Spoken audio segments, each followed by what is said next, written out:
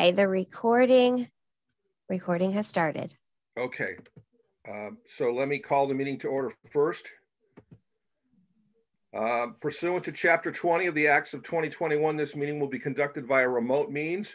Members of the public who wish to access the meeting may do so through the Amherst Town website, www.amherstma.gov. No person and no in-person attendance of members of the public will be permitted, but every effort will be made to ensure that the public can adequately access the proceedings in real time via technological means. In the event that we are um, in the event that we are unable to do so for reasons of economic hardship and despite best efforts, we will post on the Amherst Town town government website and YouTube an audio or video recording, transcript, or other comprehensive record of proceedings as soon as possible after the meeting. Thank you.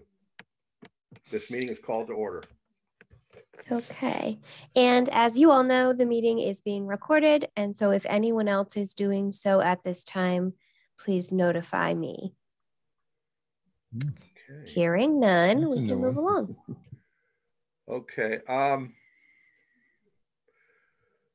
we don't have any, do we have anyone from the public? We do not. Okay. Um, I think on the agenda, I do not see the approval of the previous meeting's minutes. Not again. Uh, can we Sorry. do- Thought Can I'd we- put that on there. That's all right. Can we do that without it being on the agenda?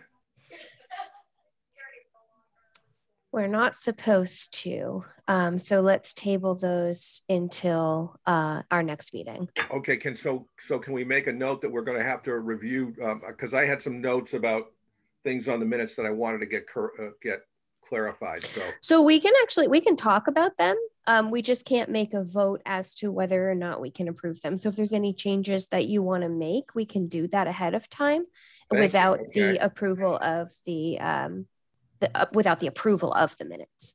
so I don't know whether our, uh, uh, my colleagues can, can pull up the minutes on their screens. Yes. Yeah, hold on. Yeah, I got him. You know, I, I'm just, um, Kim, I'm just trying to be careful that these minutes are such that a person, a lay person could come in and look at them and would understand what they're all about. Absolutely. Um, so I, I would- bring you down to discussed with Richard Morse to stop in office. If you, if you look at, um, the phrase "Dec- decision to table until next meeting to discuss, then that next phrase I think is fairly incomprehensible. Some questions, Oh, that, yeah. can we, can we get that statement to be clearer? I'm sorry. Where are we? Discussed with Richard Morse. Just oh, okay, gotcha, gotcha. Decision to keep- table until next meeting with some questions. Maybe it Yeah. should say on parcels. But is that, Um, is that a separate topic? Yeah, you're right. So it should read discussion to table next meeting to discuss questions about the following parcels. Okay, all right, so can we, could we get that, um, language uh, cleared up a little bit? Yes. Okay, thank you. But Um, that, that, for you to sign is something different, right? It should be another paragraph, shouldn't it? Um, Or discuss. yes, I, th- I think you're right, Ken. I think it's a, it's actually a, a separate item. I think, yeah, Was what it- we can do is we can say, um, if it's okay with you guys, discussed with Richard Morse to stop into the office to sign certificates of chapter sixty-one, Period. period. New And paragraph. then, New and paragraph. then new paragraph, um, Yeah. decision to table until the next meeting to discuss questions about the following parcels. Okay, if, if we can, if we can look at it in January and review it just to make sure we, it's Sure. right. Okay. Yeah, we can do that. Now, um, also I have discussed residential exemption. If you come down, could we Yeah. get that, uh, could we get that line to, um, be fair, uh, fairly clear as to what, um, what you, what is going on there? Hang on just a second. Sorry, I'm just trying to take a couple notes, so I just want to catch up Sure. with you. Um, okay, so discussed residential exemption, principal assessor, assessor Kim Yu findings about other communities who have approved this board requests copies. Okay, um, what would you like it to say? Uh, I'm trying to figure out what you meant, what is meant to be said there, and I'm not, it's not clear. So we just, basically what we did was we talked about the residential exemption with um, some of the information that I had pulled off the, of the web about other communities and I had had some Okay. questions for those communities. Um, and then I was gonna send you my questions, which I have for this week. So after comma, I would prefer an insertion of the word used, principal assessor Kim Mu, or, or some word like that, a verb or something, used or reviewed. Rev- I like that, yeah, Okay, all right, reviewed, okay. Okay, Okay. we can make those changes, certainly. all right. And then one more, Sure, uh, going to the next page. Um, I, I'm just asking for a different word than vague. I like, I guess, um, Where, uh, oh, I see. discuss being more vague. I like being more um general guess- on, Yeah, I'd, I'd go with discussed eliminating the detail on uh, something to provide more timely response by the assessor's office. well, whatever you want to do. Um, that's, Okay. that's fine. Or discuss being more general on abe- agenda items to be able to cover more material. I just, but I, I- I vague is too much of a pejorative term for me to be, to. Yeah. Yeah. I- I Okay. agree. I, I agree, I like that as General's well. fine, but I think the whole purpose was to be more timely in responding. Yeah. Right. Yeah, Okay. yeah, and it could, someone could take that the wrong way and we certainly don't want that, so. Okay, fine, fine.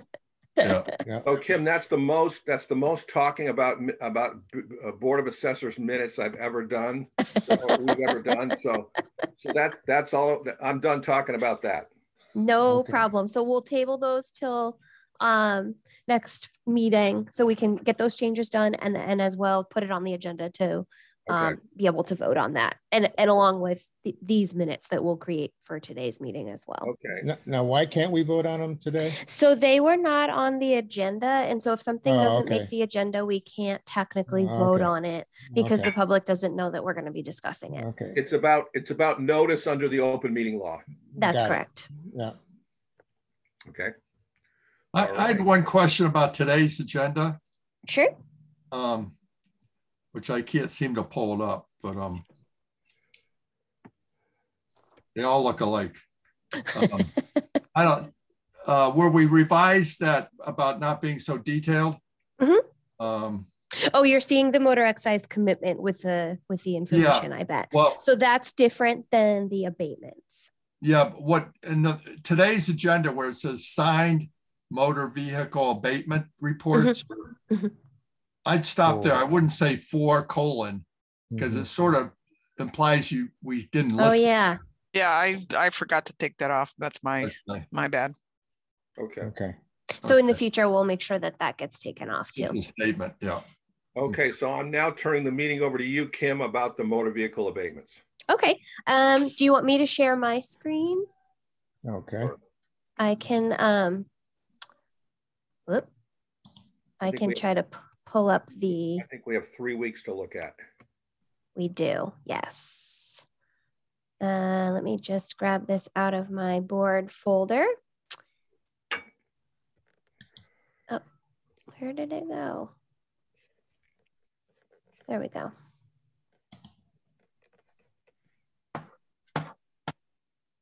Okay.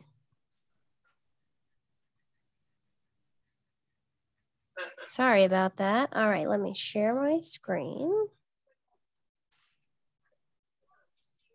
Put this over here. That was a good one. Who's at the beach? oh, you saw my little guy. oh, that's like Oh, there we go. He's now part of the public record. That's right. That's okay. Okay, so here we have excise weeks for 11 8 through 11 12. Um, you'll see that um, all of these were processed in the amount of $361.14. And again, on this one, all the um, applications uh, and other paperwork that needed to be turned in were filled out and turned in. So we were able to process those. I move that we approve those uh, abatements for the, uh, the week of November 8th. Second. All those in favor, please say aye. Aye. Aye. Okay, oops. The next one is for the week of eleven sixteen through eleven eighteen. Um, again, all the paperwork was turned in, applications, all that, in the amount of four fifty-three fourteen. Okay. Now, I want to tell you that at some point last in this year, we were shown the two-letter codes. And I'm sure that one member, some member of the board can actually tell you what each one of those codes means. Um, But anyway, I think SC is sold car, right? Correct. Yeah, I forgot what TC is, but anyway. TC Traded car, What? Traded Traded car. car. Oh, so clearly Teresa, it would actually win the prize here. I know them all. I know them all Oh, okay, all right. So what is OS? out of state. Okay. Meaning the person, meaning the person moved out of state? They registered the vehicle out of state. Ah, okay, all right. Okay. All right, I move to approve these uh, abatements for the week of November 16th, 2021. Second. All those in favor, please say aye. Aye. Aye. And Teresa, what's TO? I'm sorry, TO? uh, totaled. Ah, And there's some more for you. Mm-hmm. So on this week, this is eleven twenty-two through eleven thirty in the amount of six hundred and seventy-eight dollars and sixty-one cents. And again, all the paperwork was uh, turned in. So um, in this case, uh, with well, back to the other one for a moment. The totaled vehicle we needed um, paperwork showing that the plates were canceled. Paperwork showing the car was totaled and no longer in the possession of the the owner and the application. So things like that uh, were turned in for these as well. I just want to note on this one, a couple of these, like um, Duke's LLC and University Drive and the garaging incorrect are from their last commitment that we received for billing. So those are abatements from that commitment. So just as a sort of an example, my wife traded her car in July and bought a new car. Mhm. Mhm. So what's the process to, to actually get an abatement on her excise tax for that? uh, So she did she transfer her plates over to her new vehicle or did she get did. new ones? She transferred her. She plate. transferred them. Okay, so a copy of her new registration, a copy of the purchase and sales agreement from the dealership showing the old car going into their possession, and then the application would be filled out as well. I'm sorry, could you run that by me again? Sure. So um, the application to be filled out, which you can get on our website, or we can um, email or mail or however easiest to get. right, Um, then she would need, excuse me, her a copy of her new registration, which just Mhm. shows that same exact license plate on a different vehicle. Okay. Yeah. And then she would need a uh, the purchase and sales agreement from the dealership. Um, and in the case of a private sale, we would just need a copy of the bill of sale, and that just shows the old vehicle going into the possession of someone else, whether it's a dealership or whether it's private sale and it's another person. okay, and I raised all that just for the general public interest of that particular situation. Thank you. Yes, you're welcome.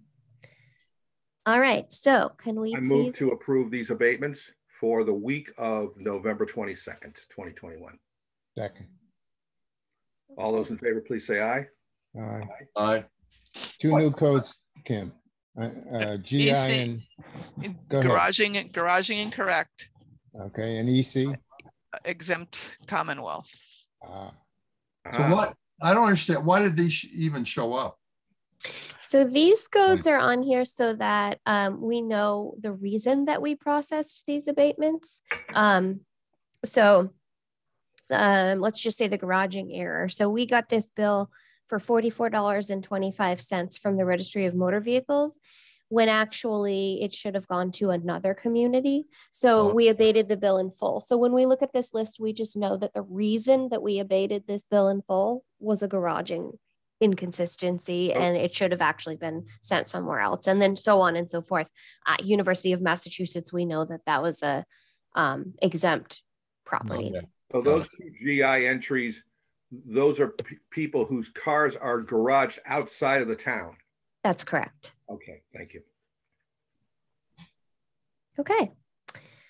Hearing no other questions, I'm going to move on to the next agenda item, which is the commitment for the excise tax. So this was our fifth commitment that was sent to us from the Registry of Motor Vehicles. Um, so on this page here, you will see the warrant to the collector in the amount of $43,253.71. Um, that was 46,000, not 43. Did I read that? yeah. 46. Um, we'll have to go back and check that then because I've got the, do we have the paperwork attached here Yes, yep, you do. to the, correct, you're correct. Okay, so the agenda is incorrect on the amount. The, the warrant is, is correct uh, in the amount of forty-six thousand, two hundred fifty-three dollars and seventy-one cents. Um, so I apologize for that. Um, so we have this page again going to the warrant to the collector. The second page you will see is the commitment to the accounting office, again, uh, in the amount of forty-six thousand, two hundred fifty-three dollars and then the final page that you will see here is the printout out of Munis, which just shows that there was five hundred fifty-three bills, shows the valuation for that amount of, of vehicles, and then again, that amount of forty-six, two hundred fifty-three and seventy-one cents. Okay, I, I move that we approve this commitment. Second. All those in favor, please say aye. Aye. When you Okay. see on the bill there, bill, uh, bill, bill total, five hundred and fifty-three total, what is that? That, is So- that the, That's the number of bills that we are expected to um, to, to send out in this commitment. So um, that's the number that came over from the registry. Um, in the case of, um, well, never mind. I'm not going to go there right now. Um, so anyway, so that would be the total number of actual envelopes that we mail out. Uh, valuation is the total number of value on those par- particular vehicles that was given by the registry of motor vehicles and then the excise tax of course is the, the amount that we expect to collect from that number of bills okay, thank you very much. You're welcome all right Do you advise the state of the number initially and then they repeat it back to you or, or this, they come up with that number separately? They come up with that. So those are the number of vehicles um, on the first commitment those are the number of vehicles that are registered as of january 1st in amherst. And then the like like this commitment for example will get multiple throughout the year. So every three months they send us another one. So Okay. they say okay we we ran the, the commitment on say december 31st of 2021 Right, so back so in april say they'll run another commitment from uh, january 1st to say april 1st for example and that's going to pick up anyone that has then registered their vehicle in that time frame so those Mhm. numbers come fully from the registry Mhm. So that's how you get five commitments? that's yeah and sometimes we'll have you know seven eight i've, I've seen as many as nine um but they it's, it's just anybody that registers their vehicle throughout the year the calendar year they'll pick them up somehow.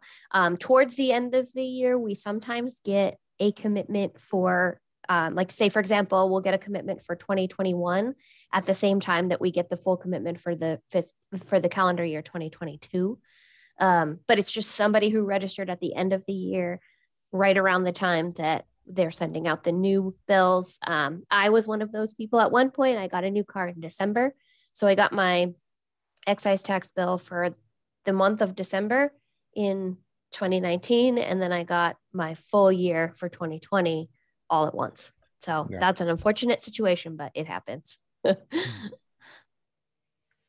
thanks. You're Welcome. All right, so I will move on to the next agenda item, which is the lien for a chapter 61B property. Um, this property is uh, located at uh, 15, doesn't say on here, 15, Hold on. I thought I put it on the lien. I apologize.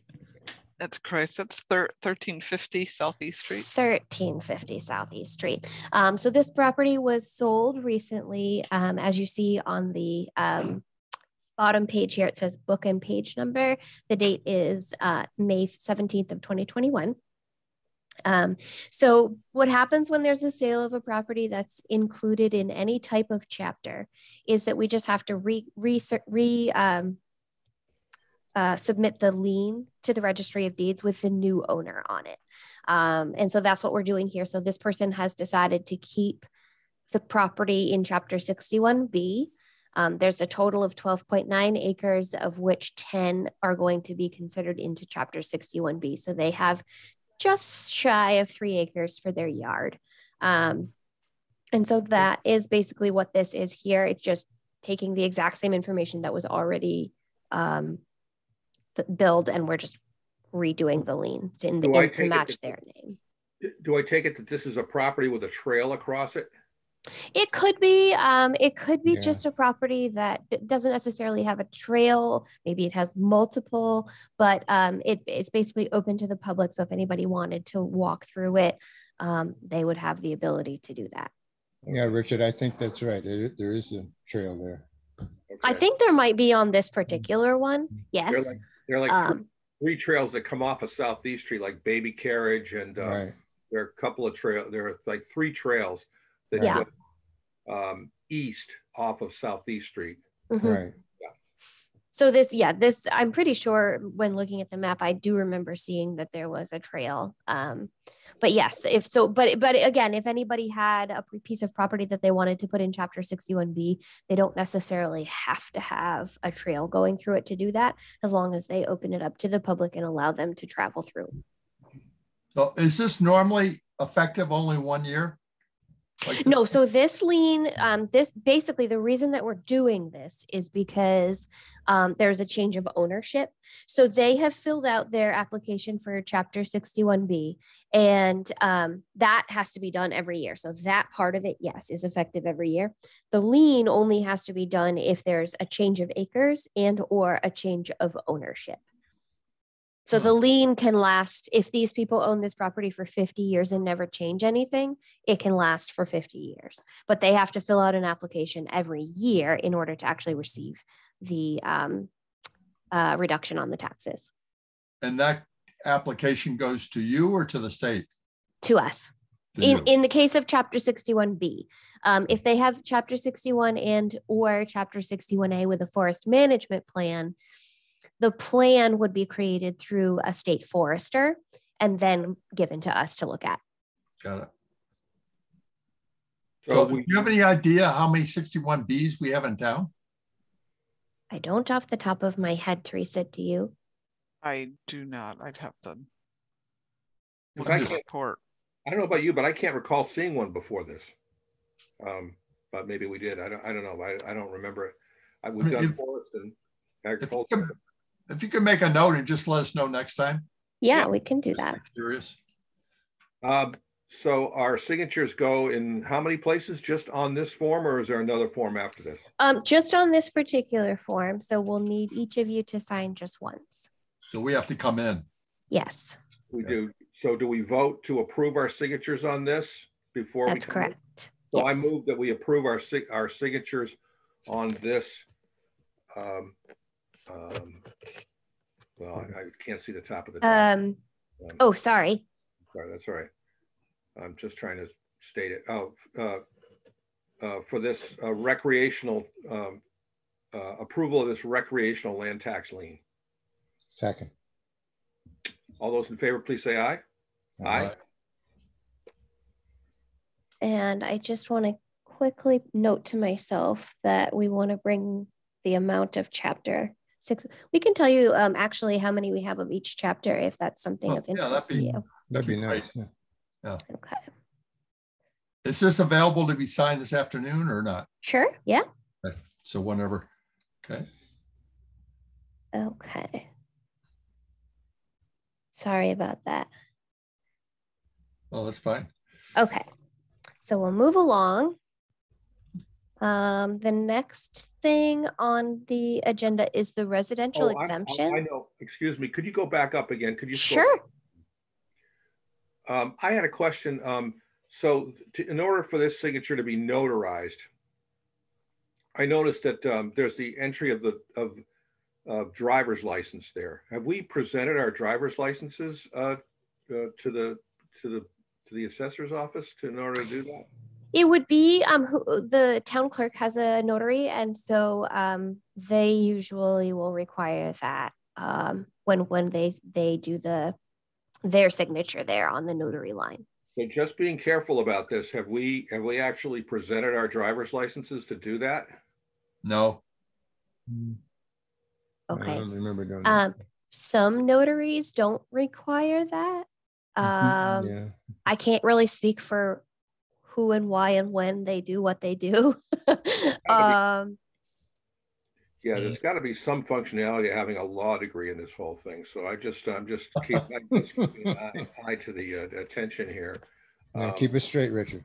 I just, I just Um, want to make sure that, you know, we can be properly notarized. look, do we have to approve, uh, appear before the clerk when we sign this? Well, We've never what done that before. Yeah, that's what that says. Yes. I just want to honor the formalities, Kim. So I, and I want to keep you, I want to keep you out of trouble, okay? Yes, thank you. So- um, yes, so this should be um, It's more Might keeping the clerk out yeah. of trouble. yes, that too. Um, so we should when you We have to walk down to the clerk's office when we come yeah in? Yes. when you come in, just come to us first because we'll hang on to it and then we can walk down with you and have you sign that. Okay, all Great. right. I'm glad I spotted that. Yes. Thank you, sir. All right. Yes. Um, okay, so um, what you see here is just the information that I had collected in regards to the residential exemption um, that I thought was really, really important when and if we do a presentation to the town council. Um, in the process of collecting a lot of things, but I just, you guys, we had talked about it last time and you guys had asked for a copy of what I had so far. So I wanted to show you this. Um, something that I thought was really important, which I think I had mentioned last time, is just that there's 14 communities in the state of Massachusetts out of 351 cities or towns that have the residential exemption. None of those are in Western Massachusetts. Um, I know there was some conversation about Hadley doing this, and I spoke with the assessor, and they have not adopted that. So, with those figures of the 14 communities, that's only 18% of Massachusetts residents who, who actually are affected by the residential exemption. I think that number speaks volumes. Um, so I think it's really important to be able to present that in our in our presentation whenever we do that. Um, so you'll see a list of those communities, and I used the 2020 US Census data for the number of residences that you will see. Um, so the ones that are highlighted are the ones that I wanted to um, reach out to.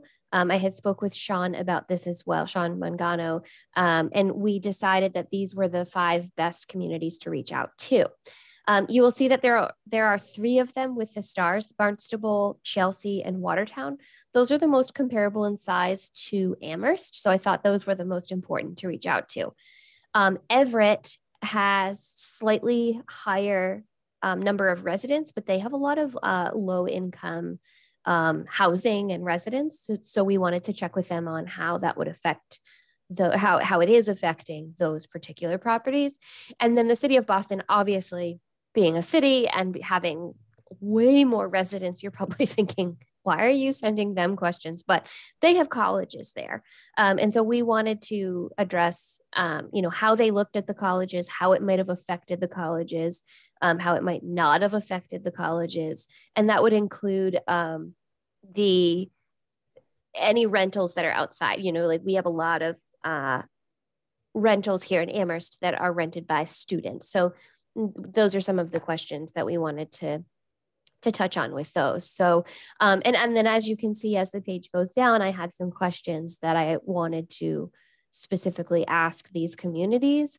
Um, why did you adopt the residential exemption? How did it affect your apartment rentals and the low income ones, especially?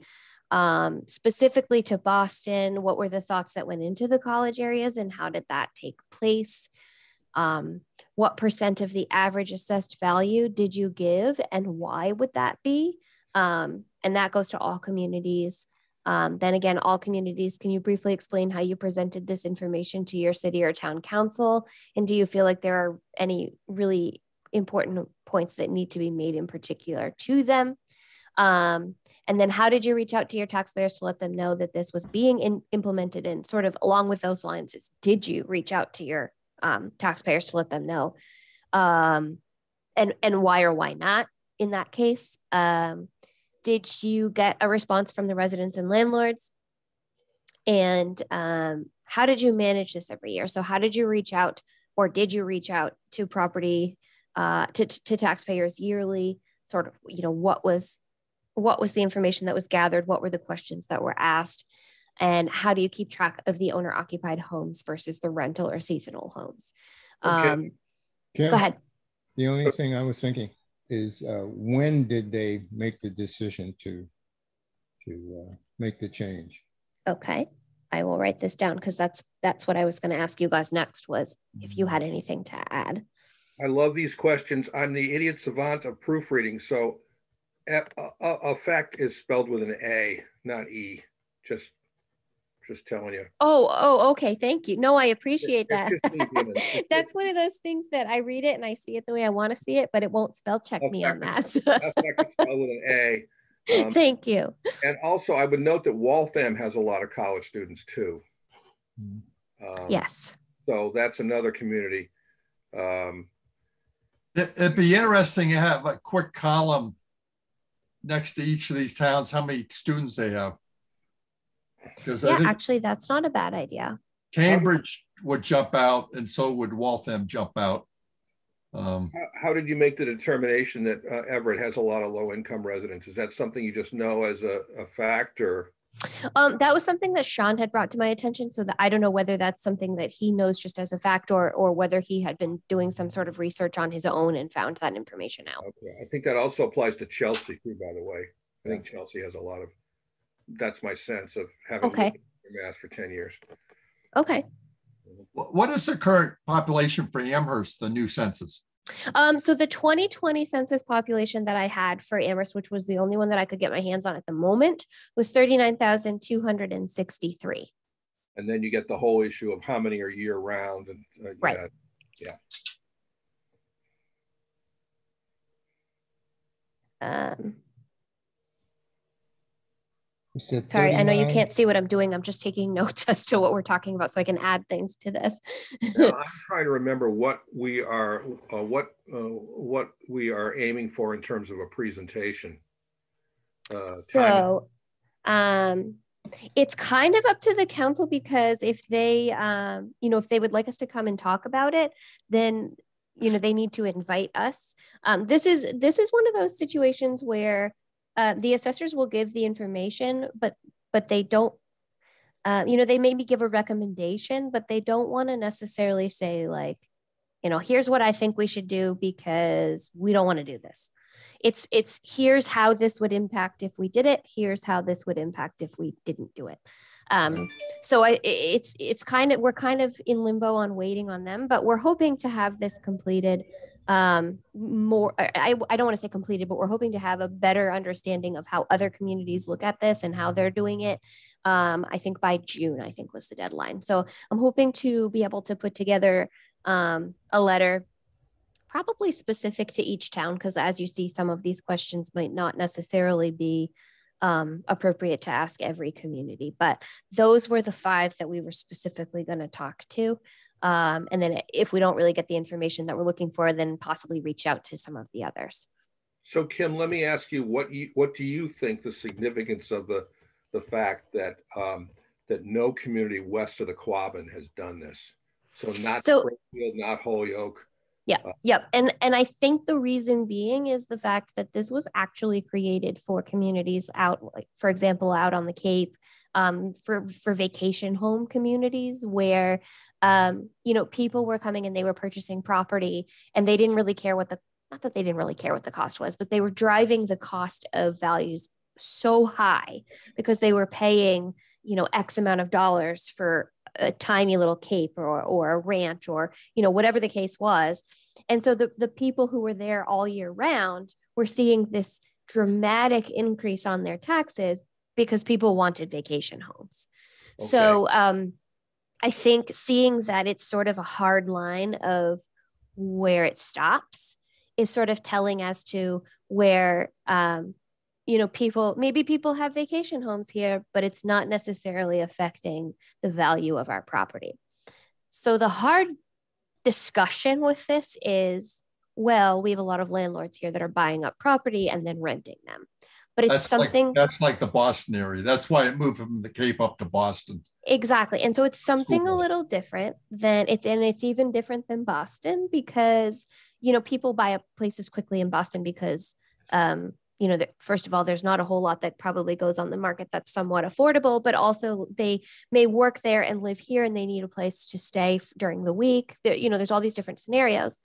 Um, looking specifically at Amherst, we do have a lot of rentals, but I wouldn't go as far as saying that someone is paying hundreds of thousands of dollars more for a house that's a rental versus someone who's trying to buy a house to live in themselves.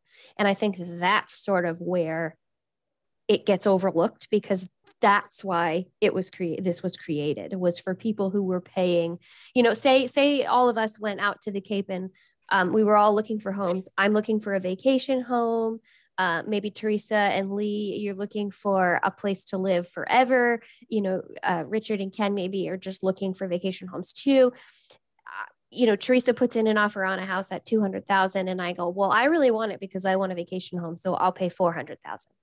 And that's kind of what was happening. And that's why this was created because people were just willing to pay more because they just wanted it and they could. Well, um, me, so, yeah. So, let me so again, here in Amherst, I don't think that's necessarily happening when, when it comes to the value of rental homes. People aren't just saying, oh, I just want it to rent. So I'll pay you know, $100,000 more. And that's where I think there's confusion with this. Okay, so let me just point out here another data point or another trend. Mm-hmm. Not not just to throw it out there for for us to think about, mm-hmm. which is that it seems as though there's an, there is now some upward pressure on homes in general, on on residences, uh, for people who seem to be moving out here to telecommute Mm-hmm. Uh, they want to get out of the, uh, the the whole commuting thing, and they realize they can live and work at home or work out of their home, or they only have to go into work in one of the big cities one or two days of the week. And so I think there may be some upward pressure on real estate values here, mm-hmm. similar to on the Cape. Mm-hmm. Uh, because of what what sort of has been created here, the the access to conservation land, that whole trend. So not only just not only just landlords, but but also people looking um, to buy mm-hmm. uh, high-end homes or homes that are outside of the urban rat race. Mm-hmm. So out. I have seen and I've heard people um, talking about that as well, and I think that that is a trend that is is like you say is sort of in an upward motion throughout the um, western part of Massachusetts, and that is pretty much like from just outside of Boston and over to the end of Massachusetts. So I think it's something that all um, communities are experiencing. I do think that it's still really on the fence as to where that direction is going to go because some businesses and um, employers are saying okay that's fine. We're, we're okay with you not being in the office and you can do your work from home. We don't actually need you here. We don't at, at this moment we don't want you here because of covid. But where is that going to go right. once and if covid you know starts to decrease and or go away our business is going to say, look, this is enough. Enough is enough. We're, we want you back in the office. And if that happens, then we're going to see a huge decline. And then if we've already got this implemented, you know, we could be in trouble with how it's affecting um, our our tax dollars coming into us. So I think um, certainly something to keep an eye on. But I think we need to see that trend continue for longer than just a short period of time to be smart about implementing the residential exemption. Um, I think we need to be, not that I want anybody to struggle, because that's not at all what I'm saying. I'm just saying I think that we need to have more detailed information we need to have a longer study time to be able to do this because if you put this if you put the residential exemption in if, if it gets voted in to your Yeah. community it's stuck there for three years at minimum unless you have like catastrophic issues with collections or with somehow it's just totally throwing things askew. And then you have to bring it back to Capitol Hill, and there's this huge process of getting rid of it before the three years. So implementing this in a quick hurry is not, I think, the best idea, in my opinion. I think that we need to get a lot more information and do more studies and make sure that this is really right for our community. Okay, I agree with everything you said, and I spoke sort of in that vein at the last council meeting where this came up. Mhm. I do think there are uh, council members who are wondering whether there is now a sort of a lower layer of of um, of uh, lower income property owners, Mhm. residential owners who are being affected by um, by the upward pressure on real estate values. Yeah. Yeah. Yeah. And that's actually um, hearing that maybe Chelsea has some lower income properties as well. Uh, I'm really interested to hear back with Everett and maybe Chelsea on how um, is it affecting them and if it's helping them, how it's helping them. Um, because you know, it, it- I, I agree. I think that there is some some lower income residences, landlords, anything that uh, might be seeing things a little different right now because of the way the market is going. Um, so I, you know, again, I think there's a lot of research that still needs to get done before we should, in my opinion, again, before we should implement this. Yeah, this is a very complex problem. It is. I guess one data point is, is it easy for us to tell how many homes sell each year in Amherst and what price they sell for? So we can So we can do a report um, of of sales. I don't know specifically because I'm just not too familiar with Vision yet. If we can pull it on sale prices, but um, I'm We sure do we could have, sorry, we do have a sales report out there that I create. Okay, so yeah, so I'm sure that, that there's a way that we could look at that and, and analyze the the data that we get off of that to see how, you know, where our sale prices have been over the last couple of years and what's happening to them. I mean, we we know just by looking at the values of properties that sale prices have been increasing because the values have been significantly increasing. Um, just But that's just everybody going up. I mean, that's yeah, yeah, so that does it. But it, I think we really need to look at home. I mean, all this other cities are great, but we need to make sure we have all the data we can get from our home Amherst database. Yes. to Yep. And I think also a part of getting the information from the other communities is going to help us to figure out what exactly we need to look at here too. Um, you know, how did it affect the lower income properties? How did it affect the college areas? So what do we need to pull for data here to figure out how things are looking right now here in Amherst? So I think, you know, the conversation between these communities and absolutely Ken, your point is we absolutely need to make sure that we have all of our ducks in a row we study our own town we check out other towns and, and cities and see how this is working in their areas um, and just make sure that we're absolutely 100% sure that this is right for us Well, uh, yeah, we're never going to be 100% though. You know that. well closer to 100% Another- than the other concern I've had people express is, you know, 60% of our housing units are now rental. And what are people going to feel like when it's 80%? right Uh, and the trend's going that way. right So, um, right and i think um you know other- maybe also uh, something else to think about and I, I don't know without doing any research but are there other ways to incentivize uh you know buying and living in you know owner occupied properties are there other ways to um you know look at this stuff and and help the community to i don't want to say recover from a high rent um, but but it's, You know, with the university, it's always going to be going that way unless there's some kind of slowdown or pushback. mhm. And one type is encourage more on university housing. Um, Yeah, I I I do know um a little bit Amherst College specifically um they don't allow their students to live off campus their June uh, their freshman year, um, and I think up until you're a senior and potentially a junior with with with certain circumstances, you're not allowed to have a vehicle.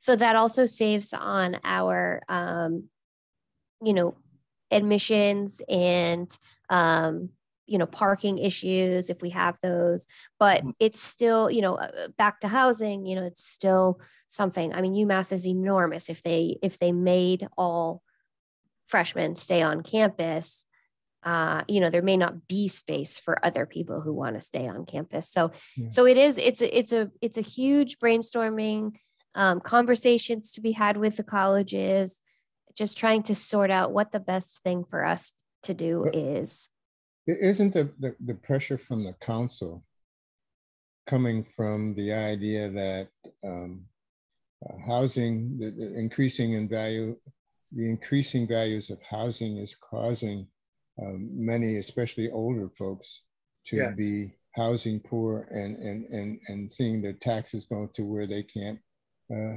afford them. Yes. And, and, and, that's where the pressure is really coming from. Yeah. tax, so, a tax break for some number of constituents who are voters right. um, who own homes who may have who may be on fixed incomes. Right right. And so yeah. that addressing that concern is, is i think a key point. Um, yeah. So as i understand it every municipality in the commonwealth has to visit this issue every single year? We do yes. Uh-huh. So I would take it that Northampton, for example, visits this issue every single year as to whether to provide a residential exemption, and they have not done it. That's correct. Okay. So, and and this is just um, you know depending on the community um, it's it's a question that we have to propose to the council um, with a recommendation sometimes it's just we don't recommend it that's it um, yeah. Other communities want to look at more detailed, like Amherst is doing. Um, Greenfield did the same thing at one point um, when they were concerned about their values increasing and all their taxes increasing. Um, so, you know, it's something that sometimes it's just a, you know, here's the question and we, we don't recommend doing it, period. And other times it's more research. So were, was there, since we're talking about Greenfield, was there some, was there any sort of pressure from the council to to investigate the issue?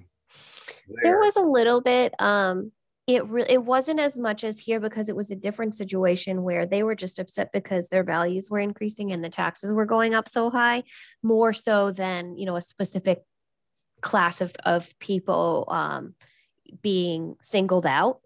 Um, it, you know there it was more of just a quick explanation of what what could happen if we did this um, I actually didn't even have to do this detailed of research.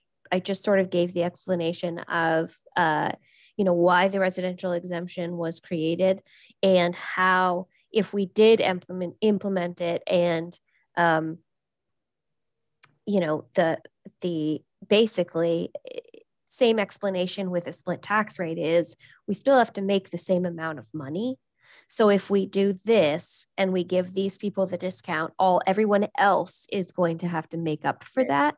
And I think that that that alone just weighed heavier on them than you know the concern of actually getting the discount because though there's a lot of people in greenfield who live in greenfield but also have a business in greenfield and it was just going to end up hurting them more than just leaving things alone so if um, you get to if you get to 80% um, and i guess Ken feels as though that I don't know whether we can track that the percentage is getting higher every mm-hmm. every year of mm-hmm. the high of, of people who, who are renters in town who mm-hmm. are rent, and renters. I guess if you get up to 70 or 80 uh, percent, you don't have a political constituency for a residential exemption, right?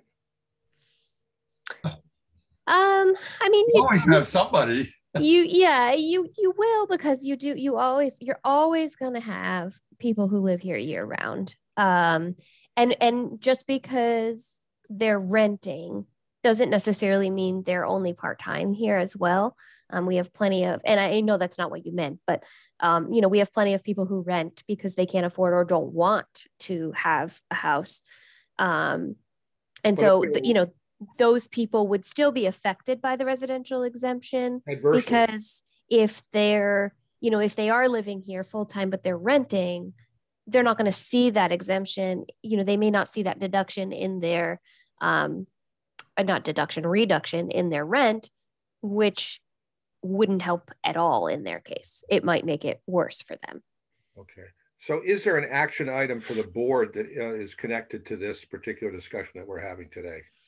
I think um, the only thing is if you feel like you want to do research and you want to ask more questions of other communities and or um, you know ask or ha- help me to figure out what it is exactly that we need to research about our town um, you're welcome to do that. At this point in the game, I'm going to focus on trying to reach out to these other communities and find out how things are affecting them. So then we can come back and look at, okay, this is what could happen. How would this affect us?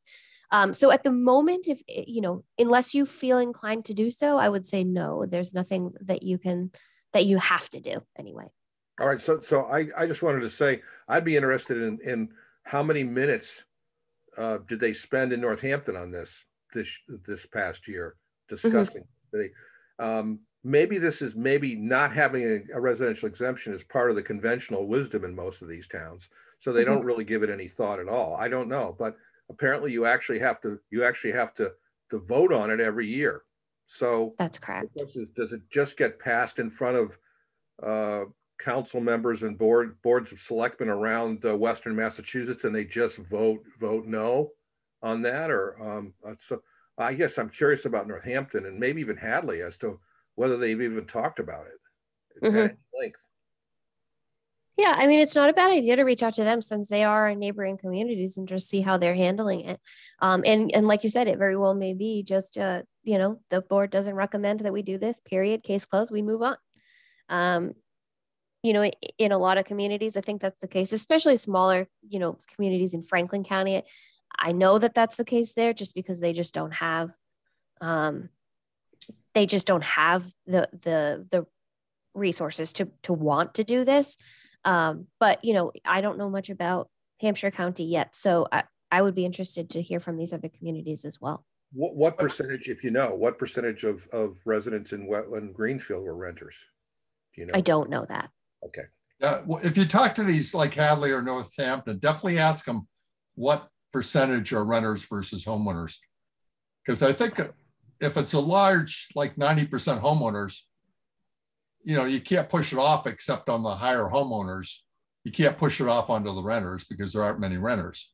Right. It's a whole different dynamic.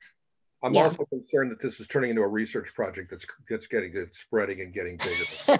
yeah. Well, I think it will be anyway. Um, depending on which direction that the council wants to go with this. If you know the new council coming in may just be like, you know what, this is stupid. We don't want to do this. Just leave it at that.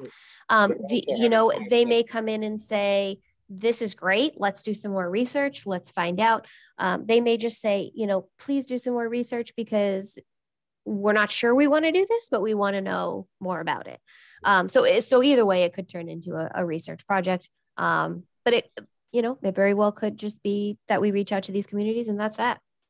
This council is meeting five plus hours each meeting. And so they're jammed up pretty badly. So they don't have time really to sit or, to sit and sort of leisurely look at this issue, I don't think. But but uh, there there do seem to be a couple of council members that are interested in it. Mm-hmm. Yeah. Yeah. The, the pressure is building with what what did our tax bills go up this year? Eight, nine percent? Yeah. And they're going to go up another eight, nine or higher next year. So Probably, general, yeah. homeowners are going to be saying, wait a minute, who else can pay taxes instead of me? Right. And then we have the capital plans coming and that's going to be overrides. And so there's going to be general pressure over the next two or three years to yeah. Yeah, and I mean along the lines of the capital projects too and the overrides, they don't necessarily um, immediately affect the tax rate, and some don't affect it at all, depending on um, you know how the funding is is being created. Um, you know, in in the case of the library, there is a grant that's there. I, I don't know too too much about it, and I don't want to get off the subject, but you know, no. things like that do help uh, with that as well. So that's something that will also come into play too at, at, at that point. But again, I just, I don't want to get too far off on that. Okay. So I want to make sure that we move the meeting along. Is there anything else Okay. that you want to talk I about? guess ju- just one question that's never been answered at some point down the road. Um, Kim, I would talk to our Affordable Housing Committee or whoever in town here is and understand them what would happen to affordable housing. I've heard all the way from people saying their rents would not get affected at all because they're set by the state. To know they would get directly affected. Mhm. So we need to make sure we have a clear answer when you do to finalize this. Yes. Yes, and and that's you know that leads to a bunch more questions too because depending on the actual answer to that, you know, if it doesn't affect them because it's set by the state, how does it affect the owner of that parts of that property? Um, and then if it does affect them directly, you know, then that leads to a whole new set of questions as well. So I think there's there is a lot more um, in regards to that, and that is one of my um, one of the things that I want to do as well is is to reach out to to our community members and our um, you know housing authorities and find out you know really in all reality all we care about is our community and how this is going to affect us As I understand it, our sales of houses, and Teresa probably knows as much about this, are consistently now above, the sale prices of, is consistently above assessed values by quite a Yeah. bit. Oh, yeah. Oh, Yeah. yeah. Oh, yeah. yeah yeah and and that's you know that is something that's happening across the whole state of massachusetts um so that's not just unique to us too so that's that's a whole nother thing there so Oh, it, it's nothing compared to some places. I mean, I have a daughter that lives in Bozeman, Montana, Mhm. which they're attracting a lot of people from California. And their median price for their home last month was seven hundred and fifty thousand. Whew. That was the median price. In so it's happening Montana. across the whole Oh, the whole country it's it's you know i mean i i know specifically about massachusetts just because that's where we are but but yeah that's interesting to hear that it's continuing to happen even in that far away Okay, At we're at 700,000 We're, we're at noon right now, so I want to make sure, I'm just keeping track of our time. okay um so we can move on to that. Uh, we can again we can you know leave this open-ended. We'll we'll revisit it at some point. Um, we don't necessarily have to leave it on the agenda but we could and just table it weekly uh, monthly if we don't need any conversation about it. Kim, I'm understanding that you're just going to continue on with the, the uh, survey. uh, yes um, As, as, as we, except we've added a couple of questions. Yes. Yep. Which I appreciate. And again, you know, if you want to do some work on it, you're totally welcome to do that, but you don't have to. I just wanted to present the information to you because we had talked about it before. Um, and you guys had asked to see what I had so far. So um, that was really more or less what what I wanted to do today. Kim, I wouldn't hesitate if you have something we can help you with. Don't hesitate to send us an email. Okay. Would, would somebody like to help me on this? I mean, Sure. Sure. Thank you. we, we'll tell you no or yes. We have time. Whatever. Sounds good. Thank Okay. you. And I Thank would you. err on the side of Have I would err on the side of We- not being any later than June because this council has made it pretty clear. That- that- yeah. They don't Yeah. want to get jammed again. Right. Yeah. And and and we don't want to get jammed either Yeah. because we don't want to have to be scrambling at the end of the year trying to do everything else that we have to do plus set up the residential exemption. So we we don't want to get jammed either. Okay, um, so, um, you know, I, I'm, I suppose that there probably needs to be someone met, I guess that would be me, that would reach out to the, um, council president, whoever that is next year, uh, and, um, indicate that we have this sort of ongoing Mhm. discussion, Mhm. and, um, do they want a presentation at some point? Yeah, and I think yeah. um, you know, let's get some more information before we do that. But I think that that we could we could certainly do that as well. I would think it would go through Paul, though. I don't think it's our role to reach out directly to the council. That's I true. think it- I think it is. It's like, excuse Well, me. I- I Just be on, be on, okay, We're not- be on, we're not- the same wavelength with Paul, though, before you do it. Well, of course, but we're not being, we're not, the council, the council runs the town, uh, uh, runs the town, uh, through the manager, so. That's So, right. and I don't expect, and I don't expect council members to be looking at these meetings, so. So Oh, the- no. the fact that this is happening is pr- pretty fairly private, I mean, that we're having this discussion, so. I don't know how private it is. It's been public pretty well. I mean, the meetings have been, When's the last time you read any press about what we're doing, Ken?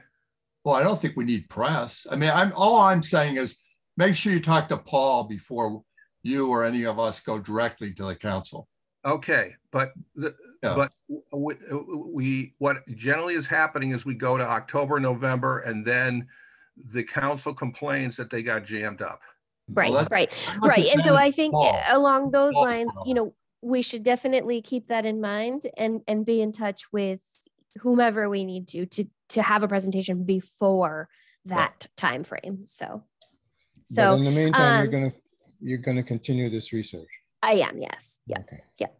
Um, so again, hearing that it's noontime, I think we can move on from that. And, you know, we can leave it on the agenda and just table it if we don't have anything to talk about. Um, just in case we do. Uh, no No. vote needs to be done, so it doesn't have to be there, but you know, it doesn't hurt for it to be there. So No, I think a, a minute update every month from you is fine. Okay. All right. Um, so moving along then to um the discussion of the availability of personal exemptions. Um, I think we're still working on that as well. Um, they are all listed on our website as we had mentioned last time. So if no one has anything more to say about that, I think we can certainly table that. And if we need discussion about that again, we can we can do that. Um, there is there is a flyer actually that's going out in with all the tax bills um, that is actually in uh, the town manager's office now for approval before we do that. Um, but uh, you know, other than that, I think at this moment, um, I think that's all we have for for that item line. Um, so then our update, I just wanted to let you know that we've done a couple of test files. Everything is looking really good, and we're hoping to put the bills in live either this afternoon or Friday. Um, so we should be able to mail the bills out. Um, we'd rather not mail them Christmas week because it's just not nice. um, so we're thinking that we'll mail them the following week, and and everything will be uh, ready to go for February first. And of course, if anybody wants to pay them ahead of time, they can do that. So, so Um, that's the, the week between Christmas and New Year's. Yes. Yeah. I, you know, it just, it's, it's Jen and I Yeah. were talking about it and it's, you know, sort of not Yeah. nice to send them for Christmas. So Yeah. Happy New Year, present. Happy New Yeah. Year, present. New Year's is different. They have to be out in the mail by that week. So, Yep. um, so anyway, that's the most important thing that's going on right now. We're preparing um, for a, a bunch of mailings that we have going out in January. We have the income and expense uh, requests, and then we have three ABC requests and personal property form of lists requests. Um, so we're working on trying to be the most efficient with all of those and what the best, most uh, least expensive way to handle those are um, and getting the best response. Um, I did bring with me from Greenfield a postcard that we send out for a reminder of the income and expense. Um, Greenfield is much more tech savvy than than um, Greenfield was, so we have all of our forms that we're going to post on our website and send out a postcard to those who get the income and expense and just say, hey, you know, it's time to do that again. You can get your form online, and of course, if anybody wants to call us and have us mail them, or if they want to pick it up, we can do that as well, um, or email, whatever works. Um, I think we're just going to stick with the actual applications for the three ABCs and the form of lists, just out of um, those are much more complicated uh, forms. And um, just it sounds like the response for those would just be better to do it that way. So, um, Sure, Matt, what's the three ABCs? three ABC is um, exempt entities such as, um, UMass? uh, no, UMass wouldn't necessarily have to fill one out because they're exempt through the Commonwealth. Um, I'm thinking of, um, Churches? churches? Yes. Uh it- most churches are not actually required to fill it Yeah, out but some some some as do.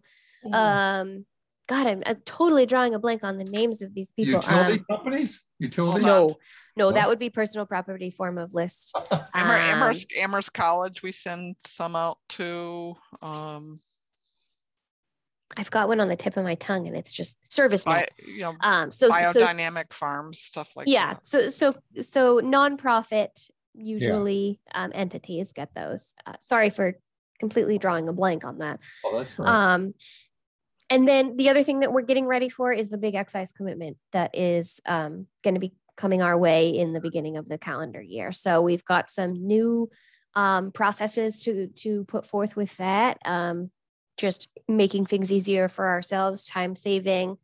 Um, so we're just trying to be more be most efficient Um, and so I think that's really all I've got for for an update for now. Those are the most important things that are coming and being worked on. Um, we um, I have a list on my board. We're oh, we're working on our manual um, for policies, and for, that's across the town. I think everybody, every department is doing that, and we're going to do um, one specific to uh, internally. We're working on uh, books to, so if something happens to all of us, somebody could just pick up where we are and you know know our processes. Um, we're working on drinking a lot of water, and um, we are going to look at our statutory exemptions and see if there is a different way to um, input those into the billing system. But but otherwise, I think you know, not nothing really changing. Uh, just trying to be the most efficient that we can be. So are you full time now? Um, starting at the end, starting in January, I will be fully here. I'm very ready to be fully here. very ready. Um, I will be in Greenfield at least two more weeks, then depending on sort of what happens with their tax bills, because they're not in the best place right now. Um, I may or may not be there um, going forward. So um, we'll see what uh, what that brings. So well, I should have a better idea. Um, probably at our next well at our next meeting, I will be full time. So, so I want to make sure that you the the Coles chapter land is still on the agenda. Yes, um, that is actually in the executive session. Okay. Um, yes. Yeah, so, so, so moving along with that, then I think our next meeting, since it's going to be in January and I will be here every every day in January. Do you guys want to stick with the Wednesday meetings or would you rather go back to the Thursday meetings? Wednesday is fine. Yeah, Wednesday's okay. That's okay. Fine.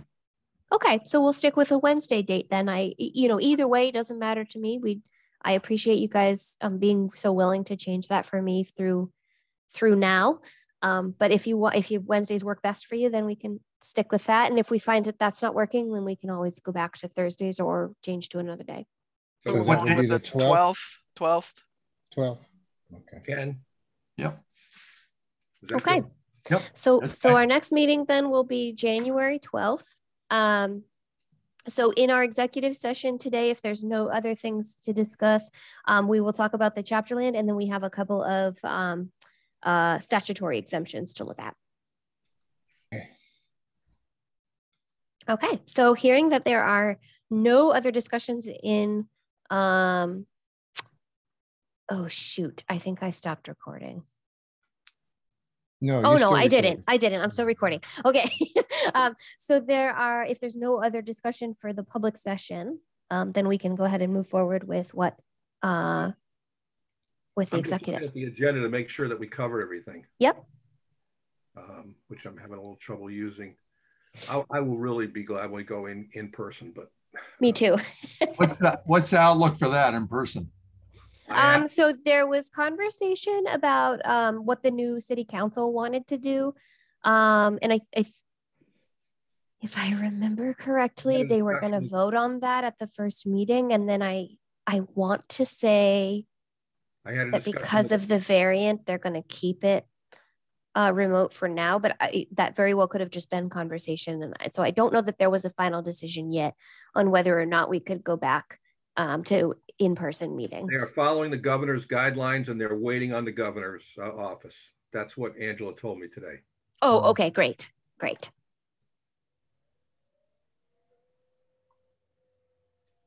Okay. Um, so if everyone is okay to do so, we can close out the public section of the meeting and then we can go into executive again to discuss personal exemptions as well as the Coles um, chapter property with adjournment at the end. I move that we go into executive session. Second. All those in favor, please say aye. Aye. aye. Okay. Um, Stop recording. Yep. And then you have to then you have to go record the executive session too, right? Um, no, we do not have to record executive session. Okay. All right, so I'm going to stop recording. So again, okay. just to to put it out there for the public. Um, next meeting will be January 12th at, are we still going to keep one o'clock? Uh, 11 o'clock? 11 Okay. o'clock. Okay, so next meeting will be January ele- uh, 12th at 11 o'clock. And I'm gonna just stop. want to say, given your schedule, Kim, um, you know, obviously we could um, slide around a little bit if you need us to. Okay, I, I appreciate that. I think, um, you know, again, after the, the end of December, I'll be fully yours. So whatever works then best for you guys would be fine with me. Um, I'll be here again every day. So uh, if we decide that Wednesdays is the day that we don't want to do, we can always switch back to um, Thursdays or any other day of the week that we decide is, is a good day. So, Okay. okay. So I'm going to go ahead and stop recording.